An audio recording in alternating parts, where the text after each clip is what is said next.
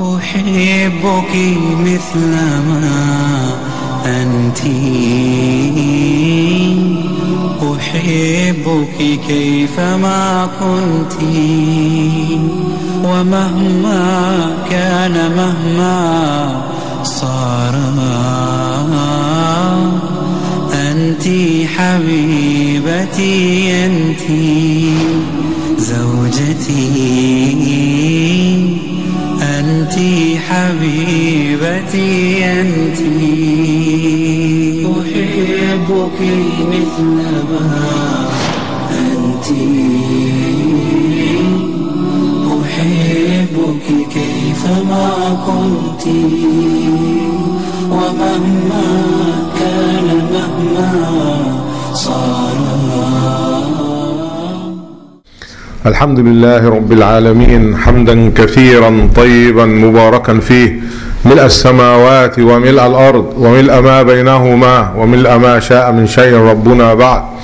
ونستعينه استعانة راض بفضله واثق بدفعه مؤمل لنفعه. ونستغفره ونسترشده ونستهديه ونؤمن به ونتوب إليه ونتوكل عليه. ونعوذ بالله تعالى من شرور أنفسنا ومن سيئات أعمالنا. إنه من يهده الله فلا مضل له ومن يضلل فلا هادي له. وأشهد أن لا إله إلا الله وحده لا شريك له وأشهد أن محمدا عبد الله ورسوله وصفيه من خلقه وخليله. بلغ الرسالة وأدى الأمانة ونصح الأمة فكشف الله به الغمة. وفتح به أعينا عميا وآذانا صما وقلوبا غلفا.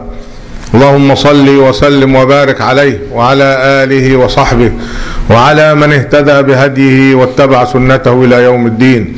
يا أيها الناس اتقوا ربكم الذي خلقكم من نفس واحدة وخلق منها زوجها وبث منهما رجالا كثيرا ونساء. واتقوا الله الذي تساءلون به والأرحام. إن الله كان عليكم رقيبا. يا أيها الذين آمنوا اتقوا الله وقولوا قولا سديدا. يصلح لكم أعمالكم ويغفر لكم ذنوبكم. ومن يطع الله ورسوله فقد فاز فوزا عظيما. أما بعد فإن خير الكلام كلام الله وخير الهدي هدي محمد صلى الله عليه وسلم وشر الأمور محدثاتها وكل محدثة بدعة وكل بدعة ضلالة وكل ضلالة في النار ثم أما بعد الله سبحانه وتعالى يقول في كتابه الكريم وعاشروهن بالمعروف This ayah, simple ayah, subhanahu wa ta'ala advising us how to deal with our wives.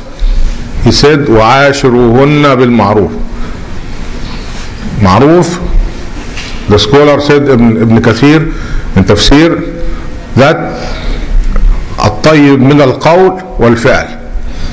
That we live with them بالمعروف mean the good words and good action. A few weeks ago, I was sitting in my office and a couple came to my office, husband and wife, without appointment. and they came, they said, We are here to get divorced. Both of them, they said, We are here to get divorced. The woman is pregnant,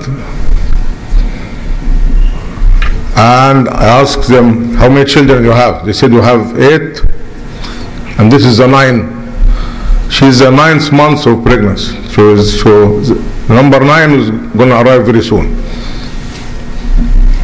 And the woman does not want to discuss anything. Said, I cannot just do divorce like this. We have to try to solve the problem. She said there's no way to solve it. And the husband, he said, you know, she wants talaq. Did you divorce her before? He said yes. Two times. And this is the third one. So it will be final. And what happened? She said every time she asked me and she insists, when I divorce her. Then we go back again. there is something wrong. Try to I try to understand. And the brother, he said, I don't know why. He just laughed. And actually, he laughed. He said, I don't know why. Why she want to get divorced?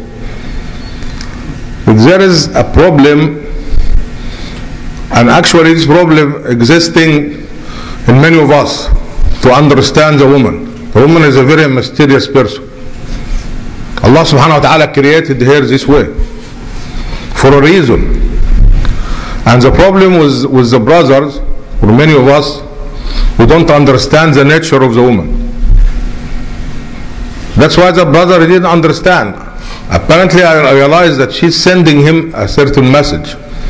She's complaining about something. And he said, You know, I, I do everything okay. You know, I spend on the house and bring the food. And do you hate her? He said, No, but sometimes we fight and so on.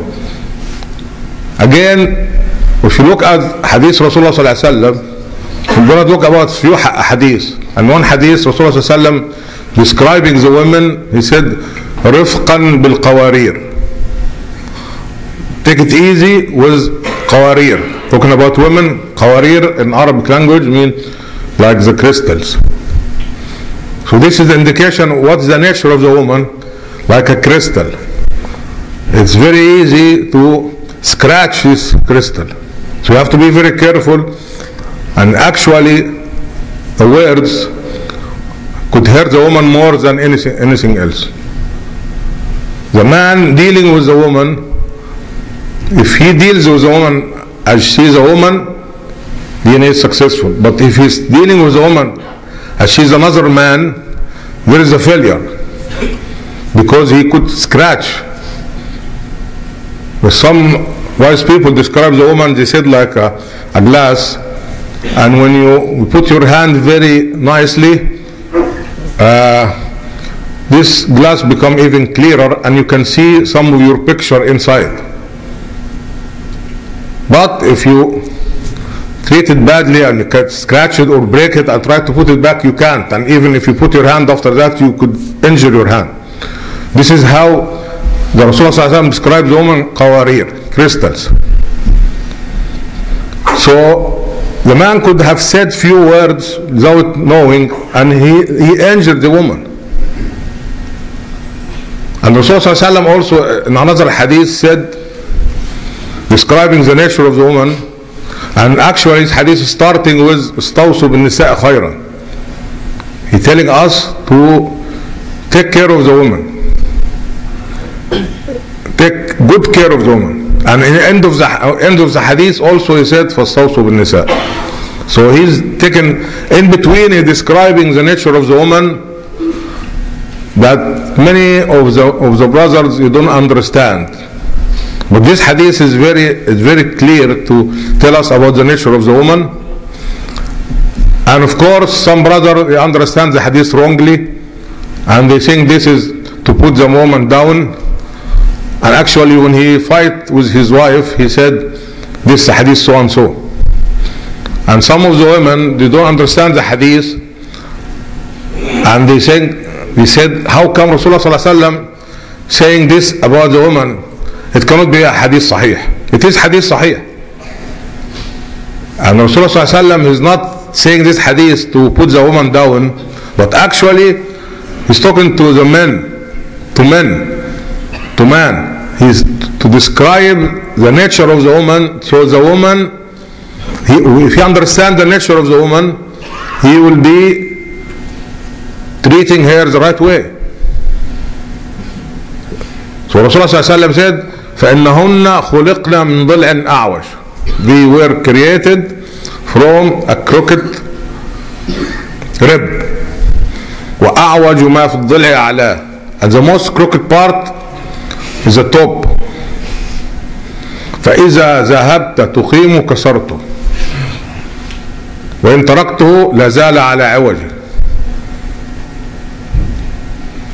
And another رواية فاستمتعوا بها على عوجه. Another رواية said وكسروا طلاقها.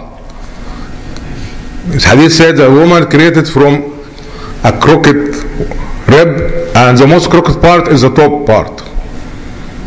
And if you try to straighten this, rib كسرته you will break it وإذا تركته لم يزل أعوج if you leave it it will still not straight another رواية said فاستمتعوا بها على عوجه means that you enjoy as is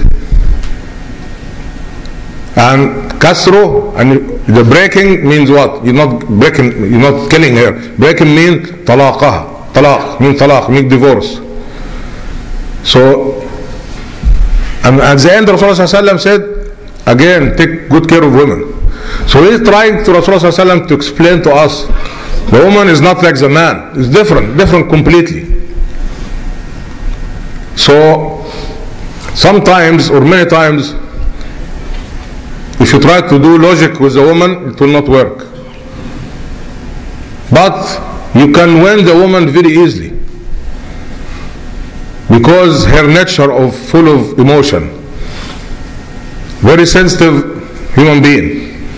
So if you understand what Rasulullah said about al qawarir, the crystals, and you understand the other hadith, then you can win her very easily with few words, nice words, with smile, small gift. You take the example of Rasulullah sallallahu alaihi wasallam. Rasulullah sallallahu alaihi wasallam used to.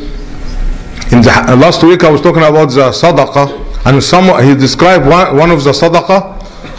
He said, حتى اللقمة تضعها في في امرأتك فهي صدقة.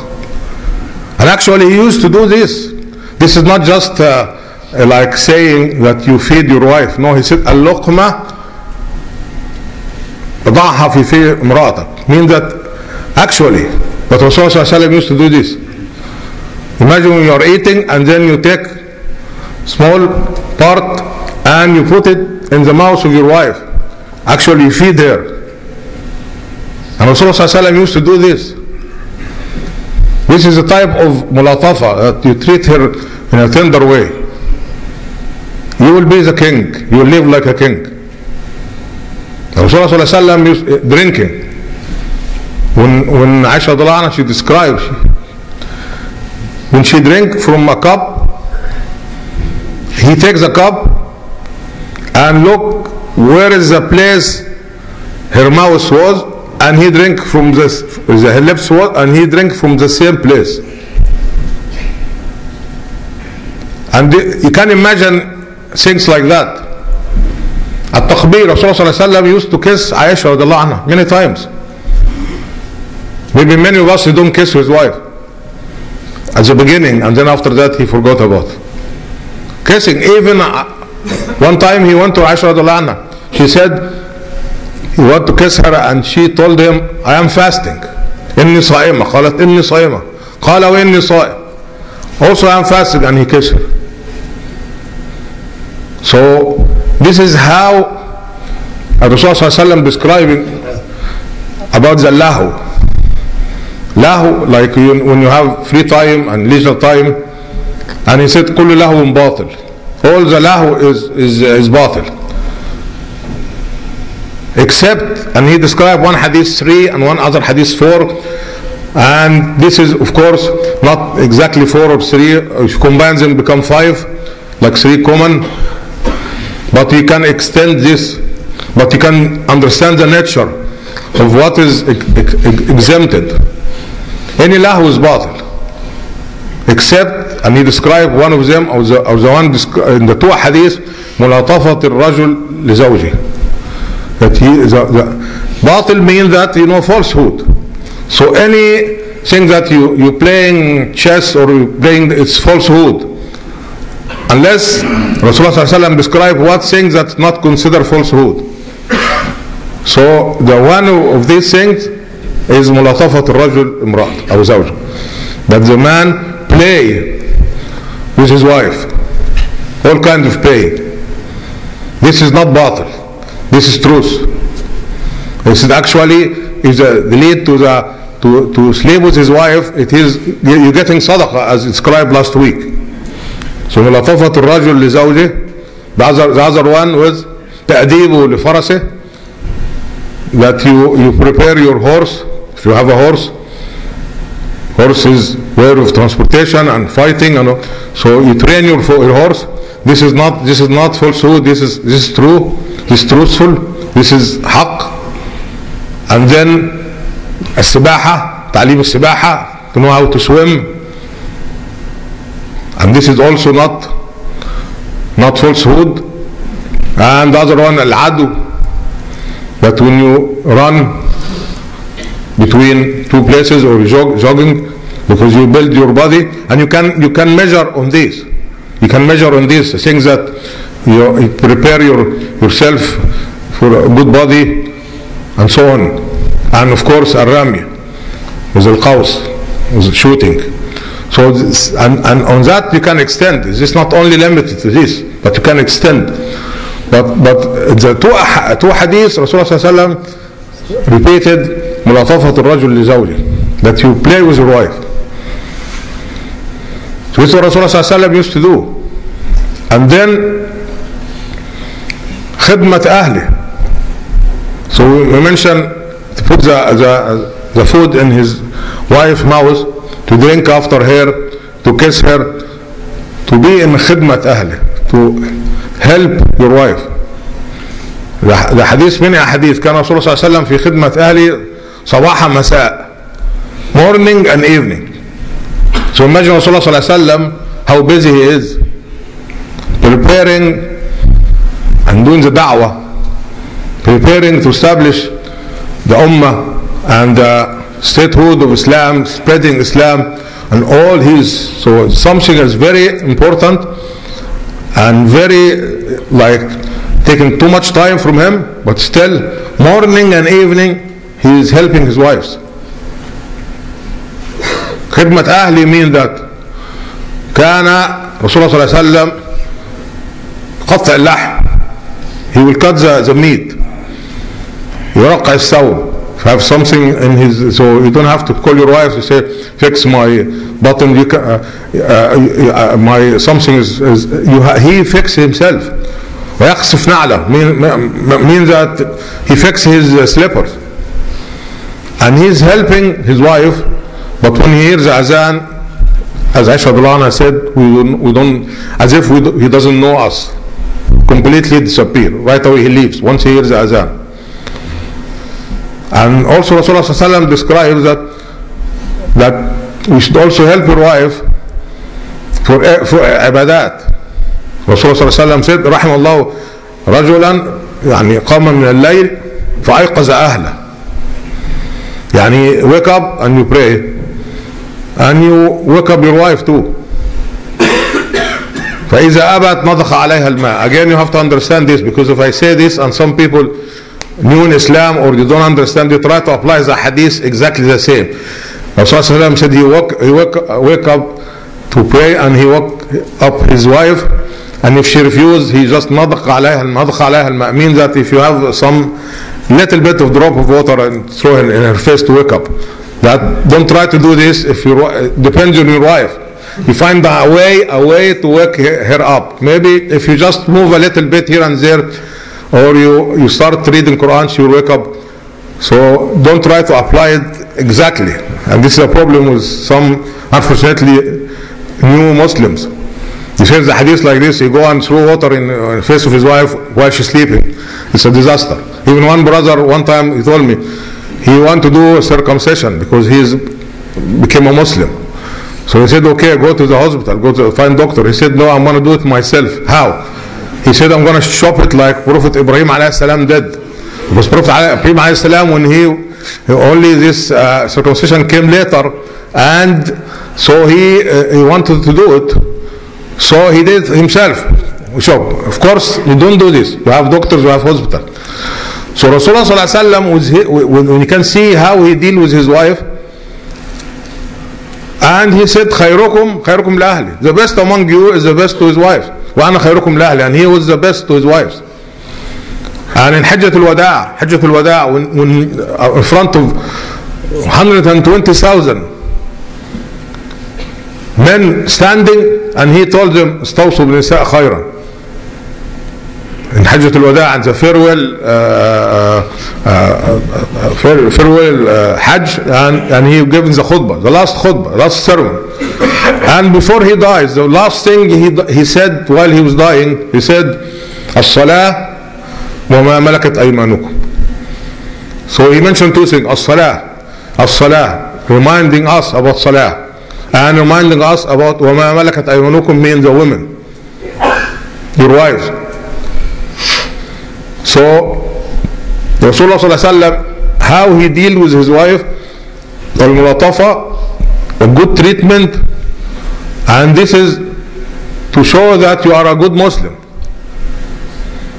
أكمل المؤمنين إيمانا أحاسنهم أخلاقا وألطفهم لأهله This is another hadith أكمل المؤمنين إيمانا the, the most believer that they have, they have the most iman or the perfect iman that أحاسنهم أخلاق that they have good manner how to deal with other people you can you find the person praying a lot and fasting and so on but then when you talk to him and you- you find he's fighting with the other Muslim and using bad words this is not the best the best أحاسنهم أخلاقا وألطفهم and the, the, the tender most tendering treating his wives so if you understand the nature of the woman you can win her very easily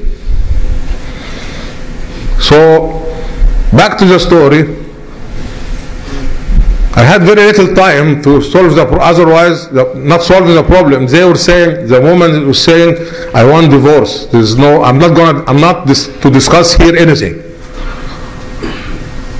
And the man said, "You know what can I do?" Subhanallah, Asr prayer came. So we said we come back after Asr. I came and prayed here the Asr. Allah, I almost cried. I made dua and almost cried. I want to solve, to, to save this marriage. Is, is uh, eight plus one coming very soon, nine children, and this is th- that's it. The, the finish. Like they have, the, they, they already divorced twice. So I made dua and, and prayed to Allah subhanahu wa ta'ala and went back. Subhanallah, I found this very clearly that this woman, I said to the man, you are actually, even I don't, I, he didn't say anything. I said, look, you look like you injured her with few words. And you looks like that you consider as long as you spend on the house and and this is a practical way of saying I love you practical way because you bring food, you bring everything, and you consider this enough. Right away, the, the sister said, "Yes, that's it." The first time she talked now about about what is the reason. So now I told her now he doesn't understand this. He doesn't understand. That's why he was laughing. He said, "I don't know what she want to get divorced," and she was insisting. So once I start bringing this the reason, then she said, you know, but there is no hope. He has not changed for the last 20 years. I said, yes, he has not changed because he did not know what is the reason. He did not know what is the problem. How can you solve a problem if you don't know what is the problem? So the first thing is diagnosing. We find out what is the reason actually. He didn't know that this is the nature of the woman. He hurt her with, with words, only words. And these words completely, she insisting to get divorce and final divorce, even was already pregnant for the ninth child. So I told her now we know the reason, or at least now we know, and we can now work work out. So please give us time. And Alhamdulillah, she agreed, and they left without divorce. And I'm waiting for him. I told him now to come. You have to come. I have to explain to you more. I didn't hear from him. Hopefully he will come, inshallah. But looks like the no news is good news. And this is this is one thing. Now, so now we're going we're going now to the woman's side. So one one of the problem with, the, with the bro- some of the brothers is he's dealing with his wife as a man, and this is a this is a problem, main problem. Now we go to the women's side. Rasulullah SAW also said one hadith. He talking to the women now. He said, يا معشر النساء ما رأيت أذهب للب الرجل الحازم منكن. I have never seen more than you that they can take away the, the, the mind of الرجل الحازم not, not any man الرجل الحازم الحازم means the, the, the, the man that he is precise he, he knows what he's doing the man that he actually you can never overcome him He's a very strong man I have never seen Rasulullah telling the women I have never seen someone like you that you can take the, the mind of that man and, and you, you can win, you can overcome this man. So Rasulullah telling us, t- telling the women in this side here, your strength in your weakness. The strength قوة المرأة في ضعفها. She can overcome a very wise man by her weakness. But unfortunately, also some sisters try to, to tell the man, "I am like I am like you. You have a degree, I have a degree. You work, I work. You bring money, I bring money. So I am like you." She forgot that Allah Subhanahu wa Taala put the he he made the system that وللرجال عليهن درجة. Men has one step above women. This is by Allah Subhanahu wa Taala. And the more she beca- she try to become strong to challenge him, and the, the, pro- the what happened is she acting like a man. In- Instead, she should listen to Hadith Rasulullah sallallahu alaihi wasallam. How she can take the the, the mind of, of she can actually overcome a very wise man. How? By her weakness. This is a very important. Her strength lies in her weakness. If she become very weak, very soft, actually she can she can gain whatever she wants from her husband. أقول قولي هذا واستغفر الله لكم استغفروه إنه غفور رحيم. الحمد لله رب العالمين والصلاة والسلام على خير المرسلين وعلى آله وصحبه أجمعين أما بعد. إن شاء الله uh, we going to pray uh, صلاة الغائب uh, on the the Sheikh uh, Abdul Qadir Mullah uh, that has been uh, uh, I, He's a criminal. He was a criminal. He's a criminal. He's a criminal. He's a criminal. He's a criminal. Please don't do that. Please don't do that. He did insult. عباد الله إن الله وملائكته يصلون على النبي يا أيها الذين آمنوا صلوا عليه وسلموا تسليما اللهم صل وسلم وبارك على محمد اللهم صل على محمد في الأولين اللهم صل على محمد في الآخرين اللهم صل على محمد في كل وقت وحين اللهم انصر الإسلام والمسلمين وأذل الشرك والمشركين واعلي بفضلك كلمة الحق والدين واخذل الكفرة أعداءك أعداء الدين. اللهم لا تجعل لنا في هذا اليوم ذنبا إلا غفرته ولا مريضا إلا شفيته ولا مبتلا إلا عافيته ولا ميتا إلا رحمته ولا اسيرا إلا فككت أسره ولا حاجة هي لك رضا إلا قضيتها ويسرتها يا أرحم الراحمين. اللهم ارحم ضعفنا واجبر كسرنا وتولى أمرنا. اللهم اهد قلوبنا واشرح صدورنا وآمن روعاتنا. واختم بالباقيات الصالحات أعمالنا. عباد الله إن الله يأمر بالعدل والإحسان وإيتاء ذي القربى وينهى عن الفحشاء والمنكر والبغي يعظكم لعلكم تذكرون. اذكروا الله يذكركم واشكروه على نعمه يزدكم ولذكر الله أكبر والله يعلم ما تصنعون وأقم الصلاة.